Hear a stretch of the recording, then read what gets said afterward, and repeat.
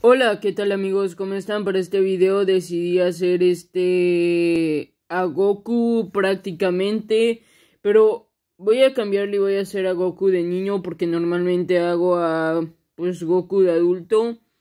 Así que como pueden ver aquí estoy haciéndolo y no sé cómo narrar los pasos que voy haciendo, así que nada más véanlo en el dibujo amigos porque soy muy malo narrando lo que estoy haciendo. Pero les voy a dar un tip uh, para hacer a Goku cualquier personaje. Bueno, si les sirve, pero si no, pues ni modo. Pero prácticamente yo me guío por la silueta, nunca me guío por figuras geométricas. A mí me ayuda mucho eso porque muchos dicen, haz boceto, guíate por figuras geométricas. A mí eso me estresa mucho, es algo que siempre me he estresado demasiado, es algo que si hago un dibujo me queda mucho peor.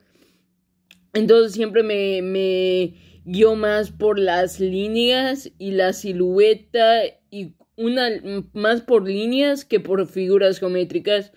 Simplemente así me ayuda.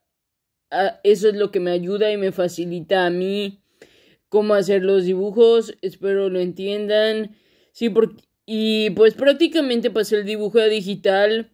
Y pues así quedó en digital. Síganme, suscríbanse y like si les gustó mi Díganme si les gustaría un tutorial de cómo pasar dibujos de tradicional a digital en Eagle Paint. Suscríbanse y like si les gustó.